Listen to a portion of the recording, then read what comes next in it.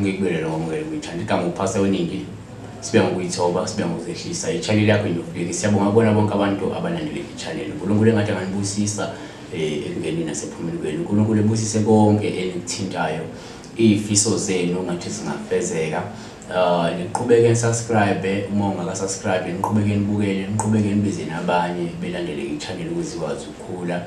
Um sizokhuluma nje ngamaphupho amabili um amathathu. Siqale la um ngwephupho la um likanombuso. Um unombuso uthi sawubona pastor ngicela ukubuza ukuthi kuchazani mhlawumbe la uphupha-ke ukhulelwe um uma utokoza isisu? Um uyayizwa-ke nengane esiswini esingakusho la ukuthi into yokuqala uh, uma uphupha ukhulelwe uh, esikhathini esiningi kuba uphawu luhleke nolusuke lukhomba la iy'nguquko mhlawumpe esuke zizinhle esuke ziza futhi empilweni yakho um esikhathini esizayo ongahle mhlawumpe uyibona kanti futhi uma uphupha ukhulelwe kuyaye kube futhi uphawu olungasho mhlawumpe ukuthi kusuke kunesibusiso uh esuke siza kuwena noma umklamo njengamanje osuke ubhizi ngawo noma umatasa ngawo noma inhlelo osuke uphezu kwazo njengamanje eh kusho ukuthi zingenzeka zizophumelela njengamanje noma uzoqala ubona umphumela omuhle wale miklamo nalezi nhlelo mhlawumbe osuke uphezu kwazo. Yabo. Kanti la u Paulina Paulina Jwalani Mfene okay? Angazi noma libiza kahle ligama uloku Paul Paulina Paulina. Jwalani noma Yalani Mfene uthi ngisawubona pastor um kuzokuthini ukuphupha eh isangoma eh ukuphupha isangoma sikuphahlela siphahla on your behalf and then you we are lying on on the bed with this sangoma nomfazi wakhe and then uh, uthi yena wayelele kubona lo mbhede but on the same uh, opposite direction enyaweni ekhuleka esingakubalula ukuthi into yokuqala uma uphupha la umuntu ubona leso sangoma sikuphahlela into yokuqala singayiveza kungenzeka uthole ukuthi kubika ukuthi um unalo ubizo mhlawumbe lobungoma wena uqobo noma ke leso sangoma isona esingakwazi ukuthi sikusize ekutheni sixhumanise nedlozi lakho yabo? Kepha-ke uma ngukuthi-ke uyaphupha lesi sangoma lesiyakuphahlela futhi kungukuthi uyasazi lesangoma uphawu olungabuye lusho ukuthi kungenzeka siza sizama noma sizozama ukucela ukukucela mhlawumbe ethongweni lakho ukuze ugcine mhlawumbe sikuthwasisa-ke noma senithandana futhi.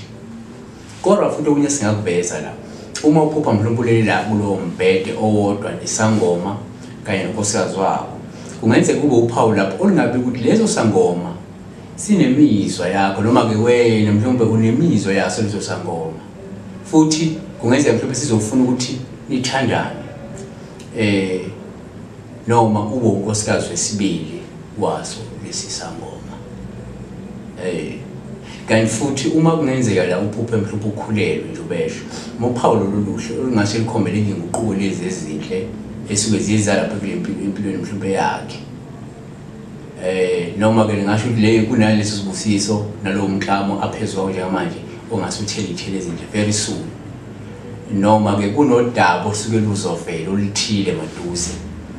Eh kanti asihlabele phambili sikwazi ukuthi sibheke ukuthi uMaria Mohahena uthi eh pastor please assist eh ukuphupha umuntu okhubazekile chazani uh into yokuqala singayibalula ukuthi uma uphupha la ubona umuntu oyisishosha um uphawu lolungasho mhlawumbe abantu ukuthi kungenzeka uzothola ukuhlonishwa. Eh noma abantu bangahle bekuthwele isigqoko maduzane futhi kungenzeka mhlawumbe kunomuntu ongahle iqaphela imizamo nokuzikhandla kwakho. Yabo? Bese mhlawumbe ekunikeza umsebenzi noma ekweseka empilweni. Kungenzeka kunomuntu ozoqaphela mhlawumbe indlela ozama ngayo nosebenza ngokusikhandla bese kunikeza umsebenzi noma ekukhuphula esikhundleni. Noma ekweseke ukuze ukwazi ukuphumelela empilweni.